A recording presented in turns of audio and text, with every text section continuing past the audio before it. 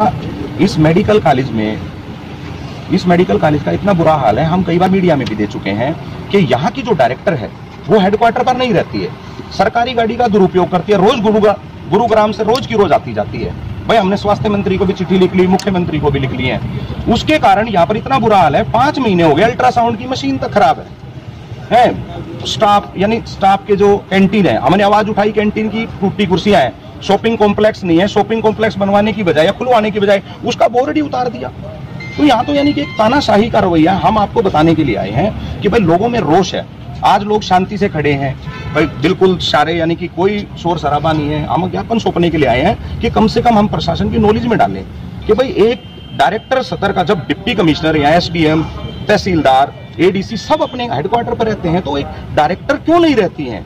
और सरकारी गाड़ी का रोज दुरुपयोग है, चार चक्कर रोज लग रहे हैं। सुबह यानी कि गाड़ी लेने जा, लेने जाती है फिर वापस आती है। फिर शाम को फिर लेने जाती है फिर वापस आके वहाँ पे खड़ी करते अगले दिन ड्राइवर फिर लेके चला जाता है।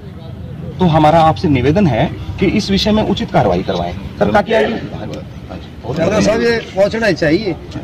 वो ऐसा ये तो देखिए हमने बोल ली कृष्ण मिनट में तहसीलदार साहब का टाइम बहुत कीमती है। नहीं ठीक है। हाँ दस मिनट में चला जाएगा। हाँ। हमारा मिनट नहीं हाँ, लगेगा बहुत बहुत धन्यवाद। आज आपने ज्ञापन सौंपा है। तहसीलदार साहब को क्या मामला था मैं doctor Gulshan Prakash Ambedkar Ambedkarite doctors association एवं doctor Ambedkar missionaries employ student and deprived people society का प्रदेश अध्यक्ष हूँ। आज हमने मेडिकल कॉलेज के मामले में माननीय तहसीलदार साहब को ज्ञापन सौंपा है।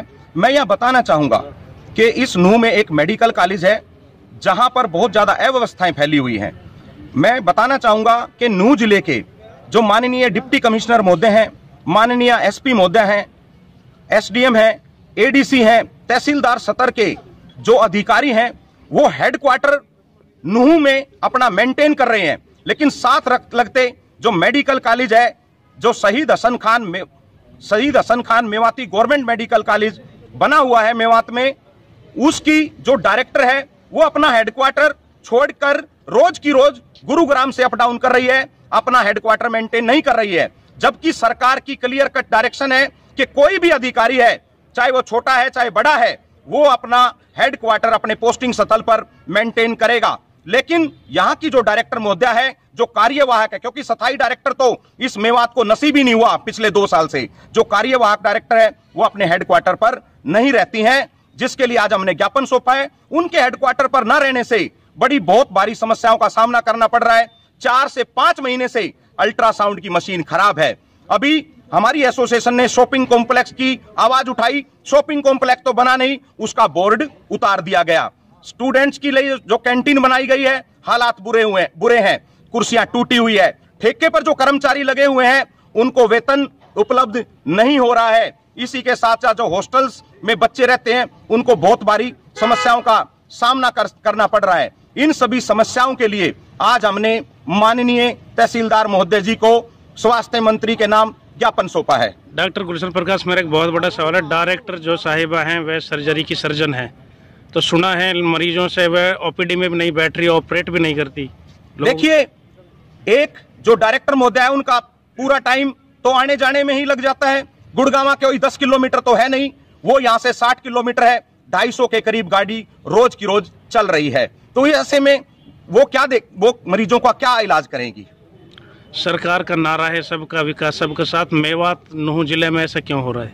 मैं बताना चाहूँगा, हमारी एसोसिएशन इस बारे में माननीय स्वास्थ्य मंत्री, माननीय मुख्यमंत्री जी को भी लिखित में लिखित में ज्ञापन भेज चुकी है, लेकिन आज तक समस्या का समाधान नहीं हुआ है। मुझे तो ऐसा लगता है, हमारी एसोसिएशन को ऐसा लगता है कि मेवात पिछड़ा हुआ नहीं है, मेवात को पछाड़ा जा रहा है, क्योंकि जब तक ऐसे अधिकारी रहेंगे जो हेड मेडिकल कॉलेज जितनी बड़ी संस्था का अधिकारी रोज की रोज डायरेक्टर समकक्ष अधिकारी रोज हेडक्वार्टर पर नहीं रहकर रोज गुरुग्राम से अप डाउन कर सक कर रहा है। तो यानी कि उस उस ज़िले के क्या हाल हो सकते हैं? डॉक्टर साहब आज आपने ज्ञापन सौंपा है। आज आगे आपकी सुनवाई नहीं हुई तो आगे क्या वि- आज हमने प्रशासनिक जो प्रशासनिक अधिकारियों ज्ञापन सौंपा बड़ा शांति से सौंपा है। आज हमने कोई नारेबाजी नहीं की है। बड़ा शांति से अपने बैनरों को आगे करके मांग को रखा है। अगर हमारी डिमांड अगर आगामी माह में पूरी नहीं होती है तो हमें बहुत बड़े आंदोलन की शुरुआत इस मेवात में कर देंगे और उसके लिए प्रशासन और जितने भी प्रशासनिक अधिकारी हैं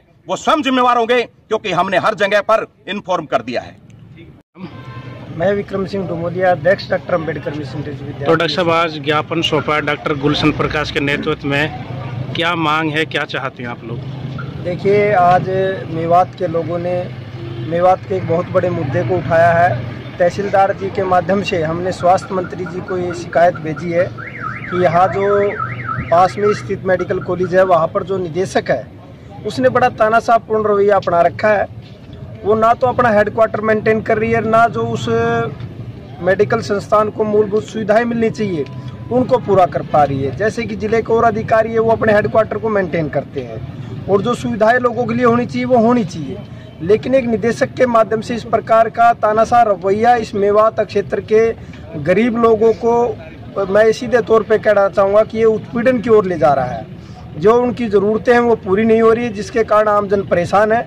आज हमने ज्ञापन सौंप कर ये चेता दिया प्रशासन को कि इसको हल्के में ना ले। अगर इसके ऊपर कोई कार्रवाई नहीं होती है तो एक बड़े आंदोलन का सामना मेवात के लोग, मेवात की जनता सरकार के सामने खड़ा करेंगे। कहीं ऐसा तो नहीं सर, सरकार की साजबाज से वे ताना से रवैया दिखा रही है। नहीं, देखो, हम ऐसा नहीं कह सकते कि इसमें सरकार की कोई हिस्सेदारी है। सरकार का काम था निदेशक लगाना। हम यह बात ये भी कहना चाहेंगे, अस्थायी निदेशक को हटाकर यहाँ पर स्थायी निदेशक की नियुक्ति की जाए, जिससे मेवात के लोगों को सही रूप में मेडिकल की सेवाएँ मिल सके। क्योंकि यहाँ गरीब लोग हैं, मूलभूत सुविधाएँ नहीं है, प्राइवेट हॉस्पिटल इतने नहीं है, जिससे कि उन सेवाओं को प्राप्त कर सके। जैसा कि डॉक्टर साहब ने सभी डिमांड्स आपको बताई, हमने लिखित में भी दी है।